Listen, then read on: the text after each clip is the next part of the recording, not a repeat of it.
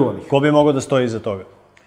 Pa meni je žao što nisam mogao da završim, nekako se kolo prekinulo na meni i volio bi da se vratim jedan korak unazad. E, pre svega, nijedan ozbiljan bezbednjak ne bi dozvolio sebi u bilo kakvoj proceni da naše oružje ide za Saudijsku Arabiju. Saudijska Arabija je država koja je organizovala 11. septembar. Saudijska Arabija je država koja je na teritoriji bivše Jugoslavije organizovala dve muđahedinske jedinice, Abu Bakir Sidik na Kosovu, El Mujahid u Bosni. E, ta jedinica i jedna i druga jedinica su procesuirane pred Haškim tribunalom. E, podsjetit ću da je Rasim Delić dobio četiri godine za zločine koje su počinili muđahedini u Bosni, za najmonstruoznije zločine, uključujući ritualna ubistva. I nisam siguran da svaki ozbiljan bezbednjak u bilo kojoj proceni, u bilo kakvoj, uh, u bilo kakvoj situaciji temperature i bilo čega, da može da poveruje da će saudijski vojnici da koriste naše puške. Naravno da oni to uzimaju i da će to oružje da završi negde drugde.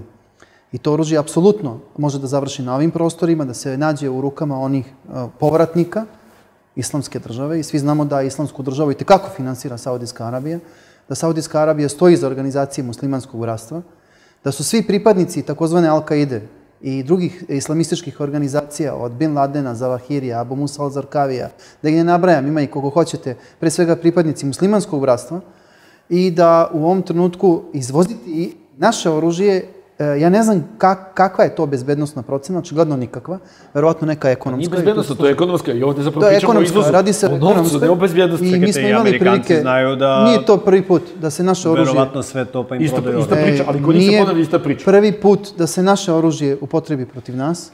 Mi smo imali čak situacije u Bosni gde su rent, rentali naši tank suprotnoj strani. Nije, nije, kažem, nije to. Mi smo toliko otišli, valjda, i moralno i mentalno, kako god hoćete, na neku suprotnu stranu, pa me i ovo ne iznenađuje, e, realno gledano. A što se tiče e, situacije da neka firma ili neki čovek može da dođe, ako je to pošteno, naravno, Mi, mi nismo do, dobili još podatak o tome, ako govorimo o ovoj firmi, da li je to bio neki tender, pa se ta firma javila, da li je to bio neki konkurs, pa se neko javio. Uh, ja mogu da kažem za sebe, evo, ja sam u 47. godini, nikad se posebno nisam bavio biznisom, ali u, u mom poslu bezbednjaka došao sam u kontakt sa svojim kolegama iz Izraela i na osnovu toga smo doveli uh, jednu od najvećih izraelskih firmi da kupuje 36.000 tona uh, čelika uh, iz železare Smedereva. I sasvim je logično da u tom poslu postoji određeni procenat koji je zakonska stvar. Prema tome, kažem, mi ne znamo još dovoljno okolnosti, znamo to što se desilo i svakako da javnost ima prava da zna.